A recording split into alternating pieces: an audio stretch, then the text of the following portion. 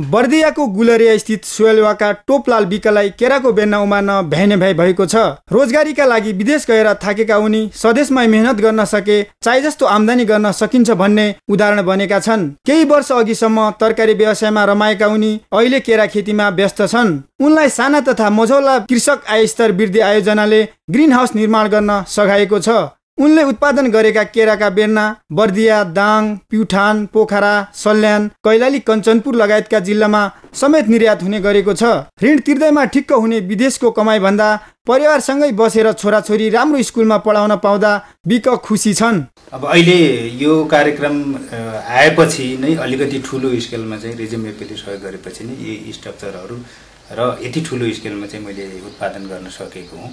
त्यसपछि चाहिँ आम्दानी मेरो राम्रै भएर छ वार्षिक पाँच लाख छ लाख भनेको सामान्य आम्दानी होइन। जुन विदेशमा पनि मैले एभरेजमा अब पाँच लाख सात लाख नै कमाइराखेको थिएँ।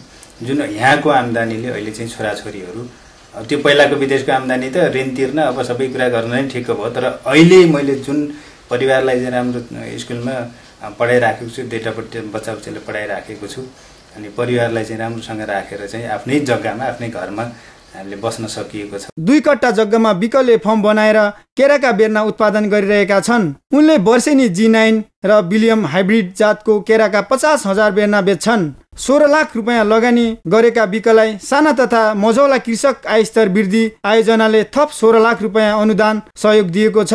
उनले अहिले कम्तीमा पनि वार्षिक छ लाख रुपियाँ नाफा कमाइरहेका छन्। केरा खेतीबाट उनले परिवार मात्र होइन मासिक नौ हजार रुपियाँका दरले पाँचजनालाई रोजगारी समेत दिएका छन्। धेरै मान्छेहरू चाहिँ अवसरको खोजीमा चाहिँ विदेशमा भौतारिने धेरै दुःखहरू पाउने अवस्था भइराखेको छ। बेरोजगारी छ तर काम गर्न चाहँदैनन् र नेपालमा के सम्भावना भनेको कृषि क्षेत्रमा हो। र मैले पनि गर्न सक्छु भन्ने खालको चाहिँ भावना लिएर गऱ्यो भने सबै मान्छेले चाहिँ त्यो गर्न सक्छ। भोलि उसले आफू प्रतिस्पर्धामा जान सक्छ त्यसपछि कसैले अधिकार दिएर पनि हुँदैन।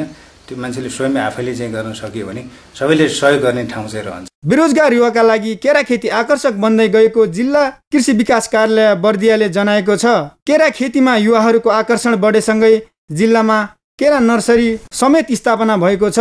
कृषि विकास कार्यालयको तथ्याङ्क अनुसार जिल्लामा छ सय चौबिस हेक्टर क्षेत्रफलमा केरा खेती गरिएको छ। केरा खेतीका माध्यमबाट तिन सय बेरोजगार युवा स्वरोजगार भएका छन्। जिल्लामा पन्ध्र करोड साठी लाख रुपियाँ केरा खेतीको लागि लगानी भएको छ।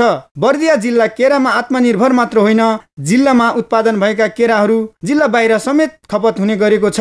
दिगो केरा व्यवसायका लागि बजार व्यवस्थापन अझ राम्ररी गर्नुपर्ने जिल्ला कृषि विकास कार्यालय बर्दियाका वरिष्ठ जिल्ला कृषि विकास अधिकृत परशुराम रावत बताउनुहुन्छ। यसबाट चाहिँ करिब तिन सयजना बेरोजगार युवाहरू चाहिँ स्वरोजगार भएको अवस्था छ र बिस्तारै बिस्तारै चाहिँ यो यो व्यवसायमा चाहिँ किसानहरूको चाहिँ अथवा कृषकहरू युवा बेरोजगार जनशक्तिको चाहिँ आकर्षक बढिरहेको छ।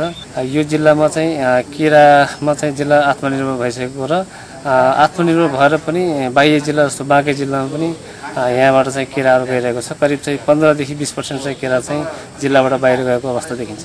रोजगारीका लागि विदेश जान हतार गरिरहेका युवाका लागि टोपलाल विकले गरेको कृषि उद्यम प्रेरणा बन्न सक्छ। इमेज समाचारका लागि बर्दियाबाट यादव आचार्यको रिपोर्ट।